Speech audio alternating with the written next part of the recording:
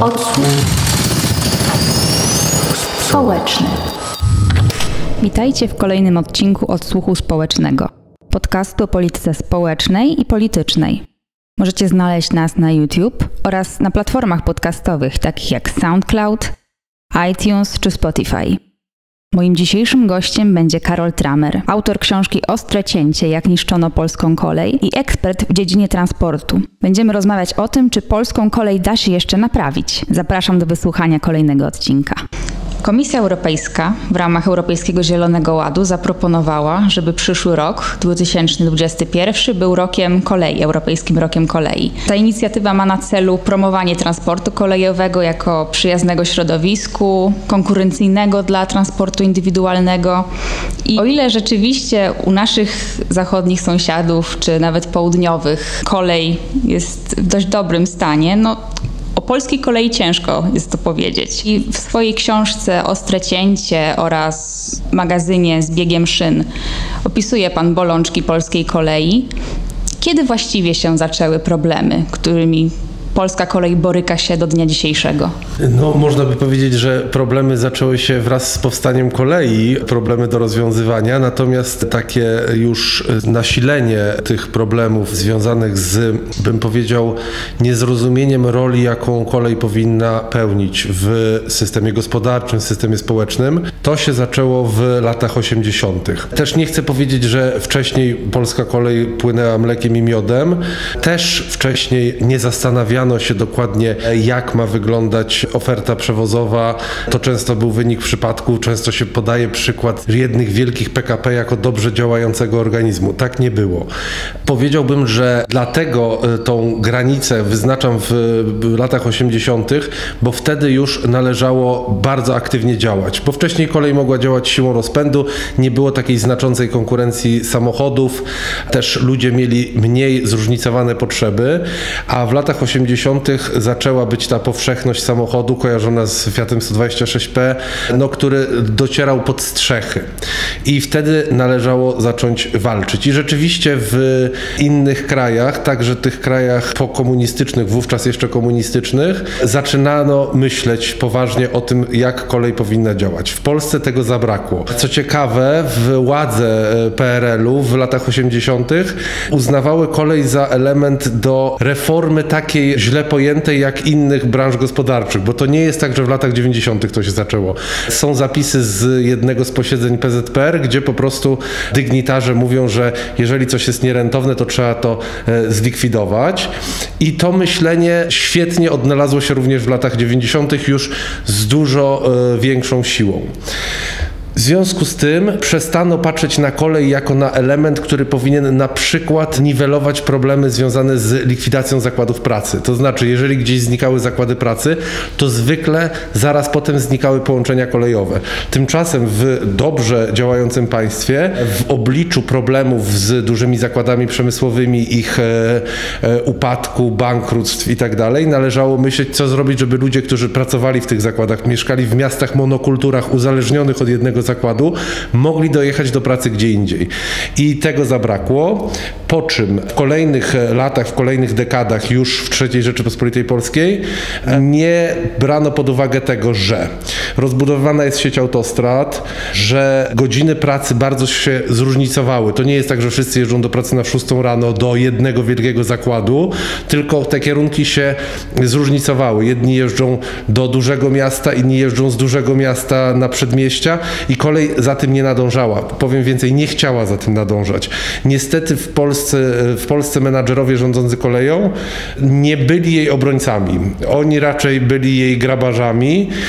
I w związku z tym każdą przeszkodę, każde wyzwanie do tego, żeby zdobyć pasażerów, traktowali jako świetne wyjaśnienie, świetne wytłumaczenie tego, żeby nic nie robić i zlikwidować dane połączenie, zlikwidować daną e, linię kolejową. Na przykład nie pomyślano o tym, żeby chociażby uruchomić więcej połączeń obsługiwanych przez szynobusy, one mniejsze koszty by generowały. No i szynobusy to jest też taki kolejny temat, z którym możemy się porównywać z innymi krajami.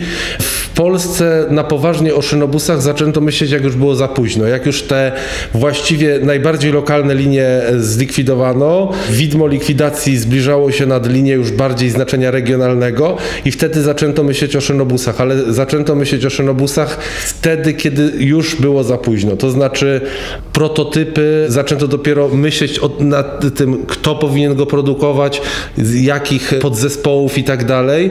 I to był problem taki, że za południową granicą był sprawdzony model, produkowano od lat 70., tak zwane motoraki, które są nieodłącznym elementem, nawet nie powiem czeskiej kolei, tylko w ogóle Czech. To znaczy one się pojawiają w filmach, w muzyce. Taki standardowy środek transportu to jest ten motorak. I na przykład Węgry zdecydowały się na zakup motoraków czechosłowackich, a myśmy y, próbowali wyprodukować y, własny szynobus. No i to się nie udało. I tak naprawdę dopiero szynobusy na masową skalę w Polsce zaczęły być wprowadzane do ruchu po tym, jak samorządy przejęły odpowiedzialność i wprowadzono ustawę, która nakazywała samorządom 10% środków przeznaczonych na kolej wydawać na zakup szynobusów. To też szło jak po grudzie na początku, bo to były dosyć małe zamówienia, krótkie serie, ale no dopiero w drugiej dekadzie XXI wieku osiągnięto tą liczbę szynobusów, kompletując ten wynik z różnych województw, jaka była planowana w latach 80. do wprowadzenia na kolei. Też właśnie, jakby ocenił Pan stan taboru kolejowego obecnie w Polsce, jak już jesteśmy w tym temacie? Z tym nie jest najgorzej. To znaczy, my często myśląc o kolei, myśląc o tym, czego potrzebuje kolej, jakie inwestycje są niezbędne, wydaje mi się, że w pierwszej kolejności myślimy o nowoczesnym taborze, w drugiej kolejności myślimy o zmodernizowanych liniach kolejowych i tutaj bym powiedział, nie mamy poważnego problemu. To znaczy, te priorytety inwestycyjne są, możemy bardzo dużo mówić o tym, jak one są w praktyce realizowane, ale ten zamysł, czego potrzebujemy, jeśli chodzi o tabor i modernizację linii kolejowych, to już bym powiedział, e, zrozumieli nawet politycy, ale jest problem, że nie zrozumiano, nie uświadomiono sobie trzeciego filaru, który jest moim zdaniem najważniejszy, czyli Nowoczesny tabor po zmodernizowanych liniach kolejowych musi kursować często.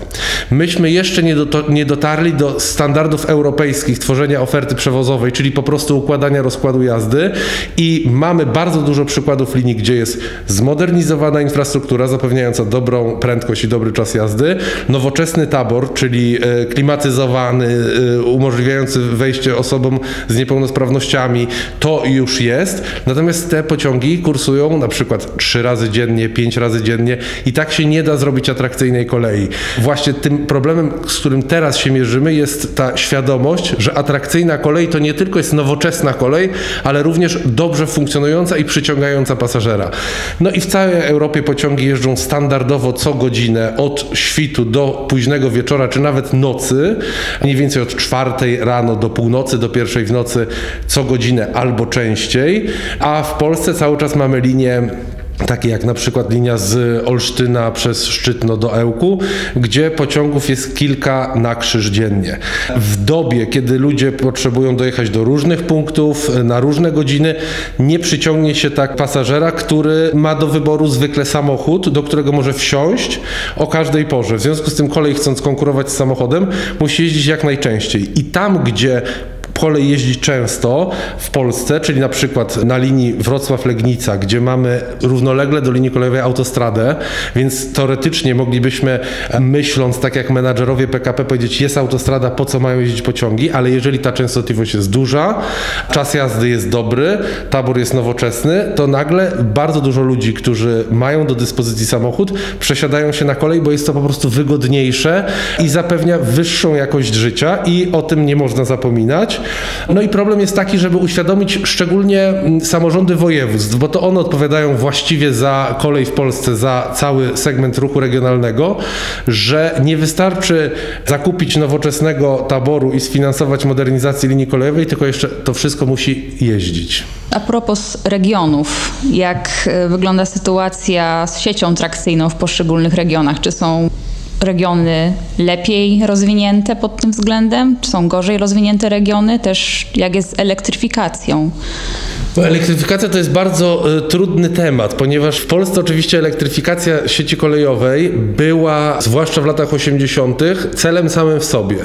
I efekt jest taki, skutek uboczny, że mamy bardzo dużo zelektryfikowanych linii kolejowych w porównaniu z Niemcami czy Czechami. Ta część sieci kolejowej, która jest zelektryfikowana, jest dużo większa niż w tych krajach. Natomiast to doprowadziło do kolejnej wymówki, to znaczy na tyle mamy dużo zelektryfikowanych linii kolejowych, że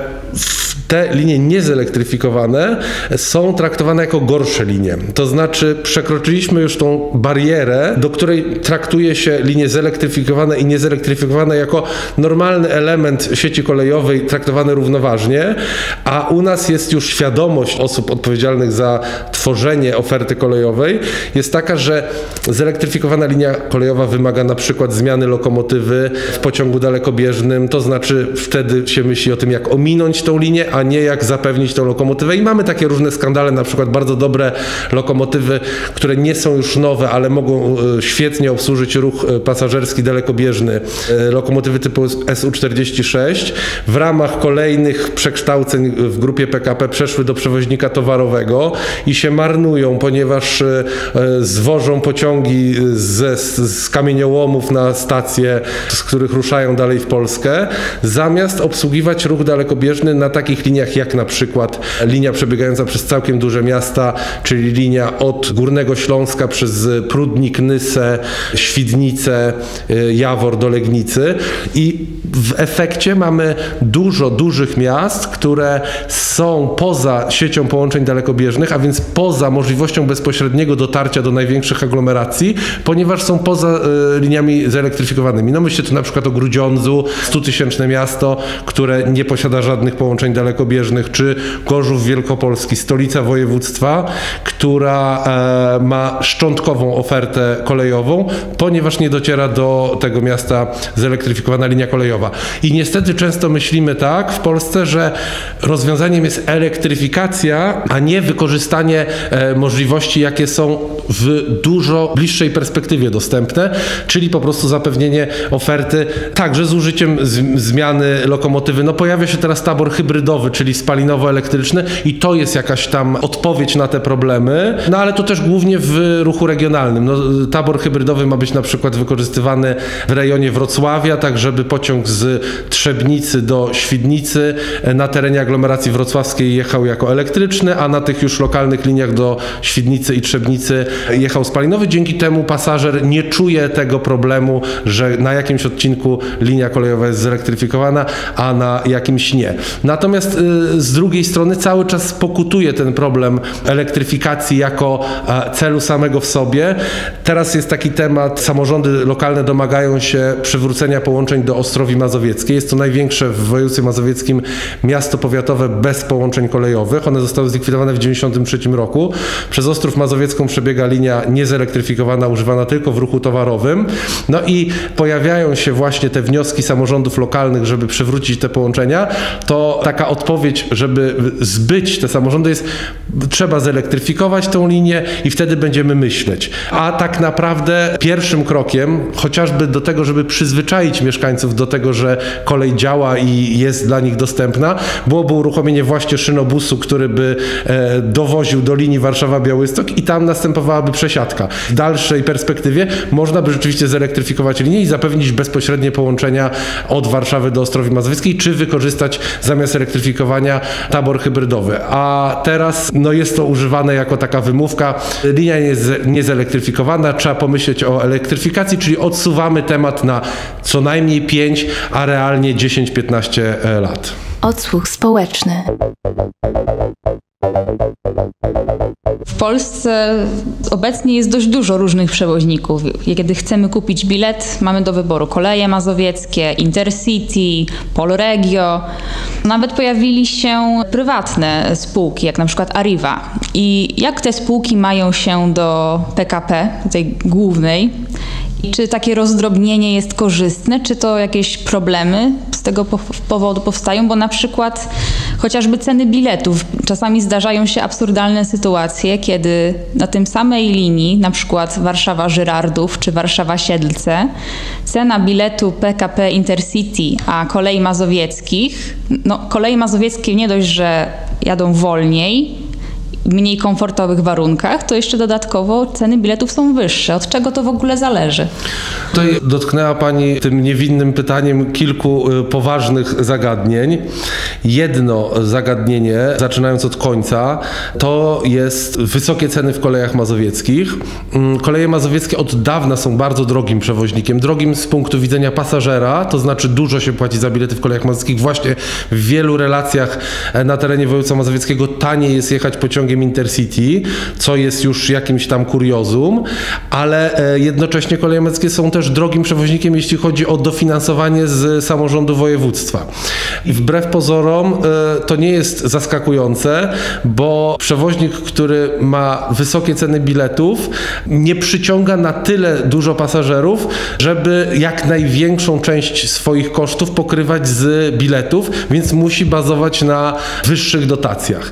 To też jest taki mentalny mentalny problem, że przewoźnicy kolejowi czy osoby pracujące w spółkach kolejowych odpowiedzialne za politykę cenową, taryfową uważają małe przychody, musimy podwyższyć ceny biletów, to przychody będą większe.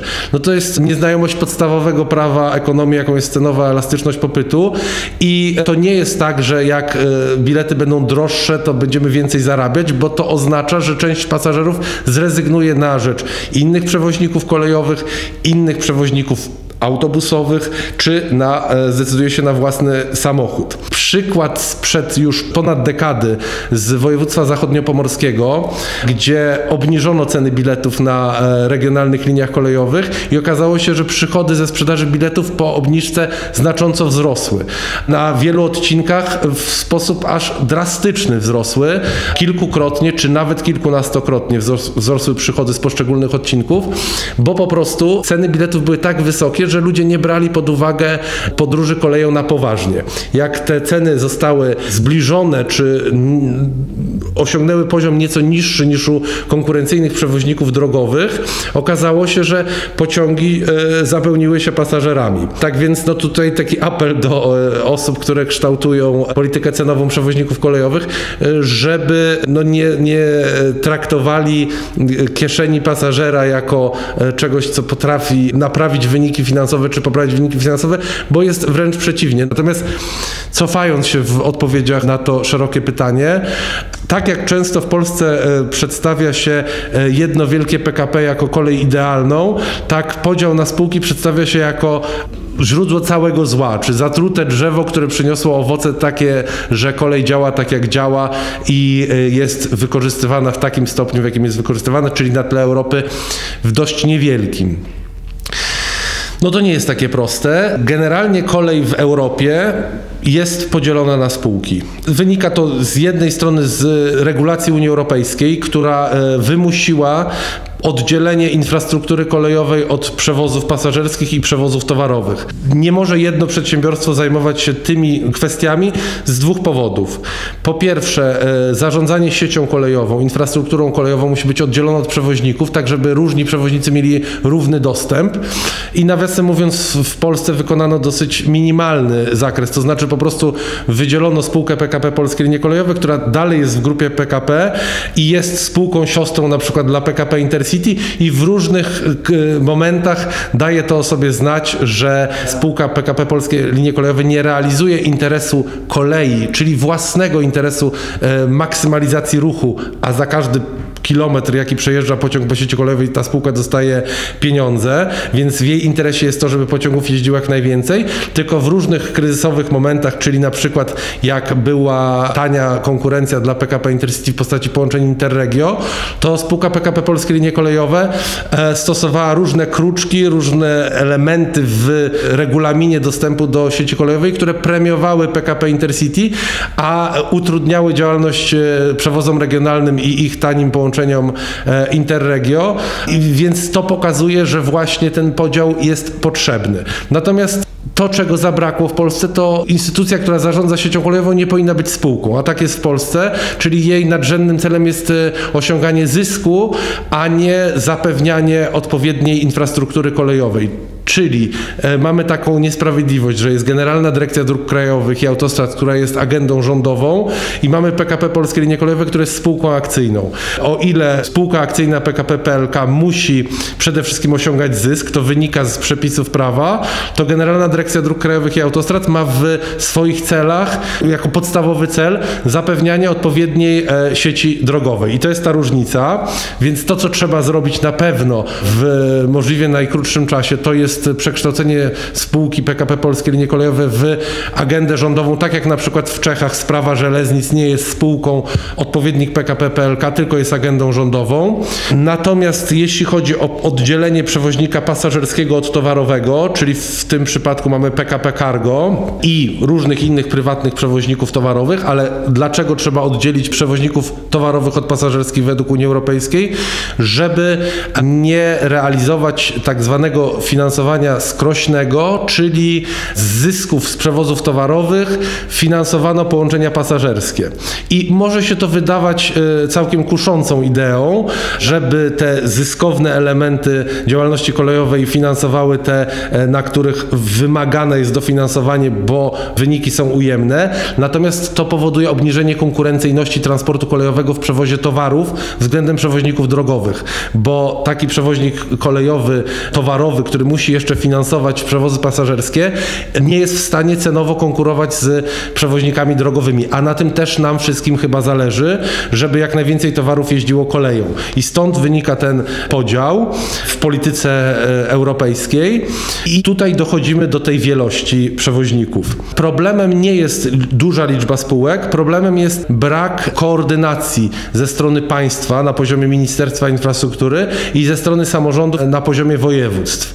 To znaczy, pasażera nie powinno interesować w ogóle, jaką spółką jedzie, w jakich kolorach jest ten pociąg. Powinien kupować bilet na całą trasę i mimo pewnych prób, które zostały wykonane e, po stronie grupy PKP i Ministerstwa Infrastruktury wprowadzenia tak zwanego wspólnego biletu, to to cały czas nie jest rozwiązanie, które dobrze działa. To znaczy sprzedaż tych wspólnych biletów jest minimalna, ponieważ nie wprowadzono naprawdę systemowego rozwiązania, które znamy na przykład z Niemiec, gdzie e, możemy poruszać się pociągami różnych przewoźników i jako pasażera nie interesuje nas, kto jest przewoźnikiem, bo generalnie mamy bilety obejmujące cały region, są związki taryfowe i my kupujemy bilet po prostu od, że tak powiem, samorządu województwa, a samorząd województwa już jest jego problemem, czy dany odcinek powierzy w obsłudze e, jakiemuś przewoźnikowi prywatnemu, zagranicznemu, państwowemu. No trochę tak jak mamy w komunikacji miejskiej, w, na przykład w Warszawie Warszawie. Mamy Zarząd Transportu Miejskiego i z biletem kupionym od Zarządu Transportu Miejskiego raz jedziemy przewoźnikiem Miejskie Zakłady Autobusowe, raz tramwaje warszawskie, raz Mobilis, a raz PKS Grodzisk Mazowiecki. I myślę, że y, ogromna większość pasażerów nie ma świadomości, jakim akurat przewoźnikiem podróżuje, tylko wie, że jest to albo autobus, albo tramwaj, albo metro, albo pociąg. I to jest problem Zarządu Transportu Miejskiego, żeby rozliczyć się i zapłacić tym e, przewoźnikom. I Podobne modele funkcjonują na kolei w innych krajach i powinny również funkcjonować w Polsce. Odsłuch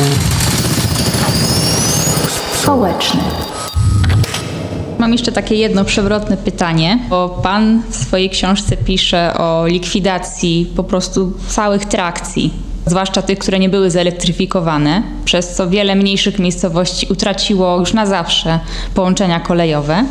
I moje pytanie jest takie, że co z miejscowościami właśnie, w których od dawna nie ma kolei i czy po prostu te szlaki budować od nowa, co jest kosztowne, czy nie lepiej zamiast odtwarzania sieci po prostu inwestować w połączenia autobusowe, a to, co zostało zdewastowane, już do tego nie wracać, czyli innymi słowy odbudować infrastrukturę, która została zniszczona i dać sobie spokój z tym, po prostu puścić państwowe autobusy. No państwowe autobusy to jest trochę utopia. Trudno powiedzieć państwowe autobusy, bo nie wiem jak to miałoby być, czy to miało być jedno wielkie przedsiębiorstwo obejmujące całą Polskę.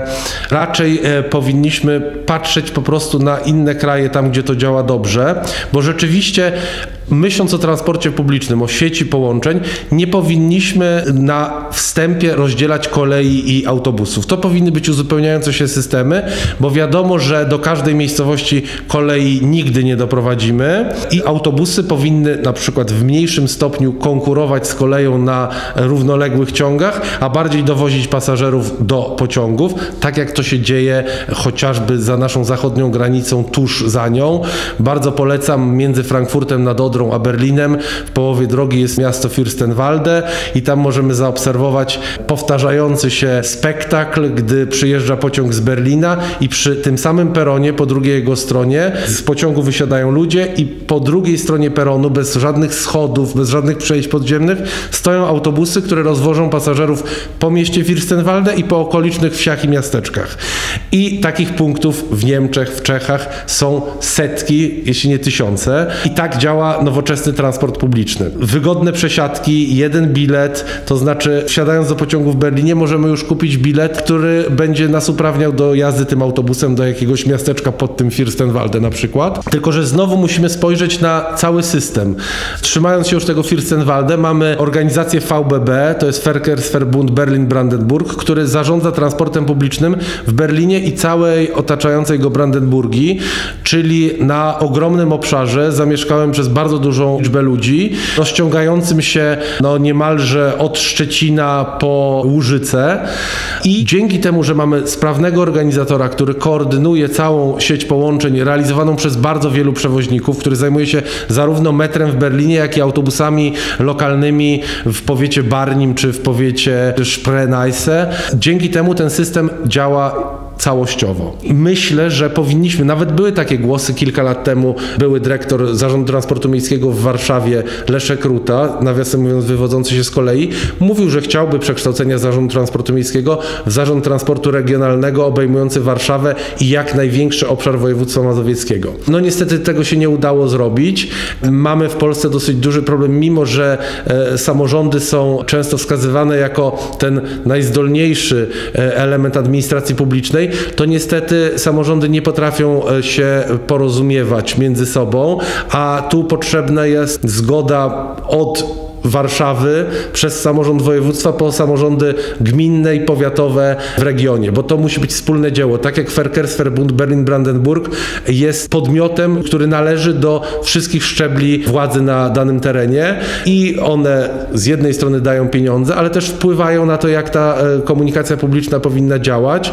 Ta świadomość na przykład powiatu e, odległego od Berlina, że nie muszą mieć bezpośredniego autobusu do centrum Berlina, ale chcą mieć dobrą komunikację dowozową do linii kolejowej jest już na tyle ugruntowana, że tam no, nie trzeba wyważać otwartych drzwi. U nas niestety jeszcze za mało patrzymy na systemy, które dobrze działają. Natomiast jeśli chodzi o pierwsze pytanie w tym pakiecie, odbudowa linii kolejowych jest bardzo potrzebna. To znaczy to się dzieje, bo to nie jest tak, że likwidowano połączenia tylko w Polsce, likwidowano linie kolejowe również w Niemczech, we Francji i teraz te kraje, na przykład Francja teraz dochodzi do wniosku, trzeba odbudować części linii kolejowych. Wcześniej to się działo w Niemczech.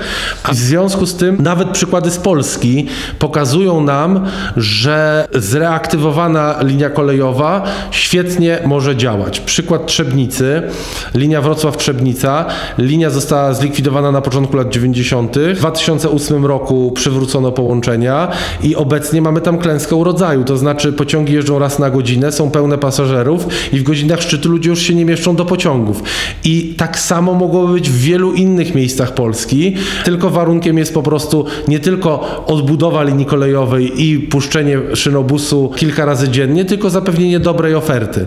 Podstawowym wyzwaniem jest przywrócenie połączeń kolejowych do tych największych miast, y, które nie mają połączeń kolejowych, czyli na przykład no, największe Jastrzębie Zdrój, prawie 100 tysięcy mieszkańców, nawiasem mówiąc liczba mieszkańców Jastrzębia Zdroju od likwidacji połączeń mocno mocno spadła i kierunek migracji z Jastrzębia Zdroju to wcale nie były duże miasta jak Katowice, Kraków, tylko pobliskie miasta jak Rybnik, Żory, które y, lepiej położone są na sieci połączeń komunikacyjnych.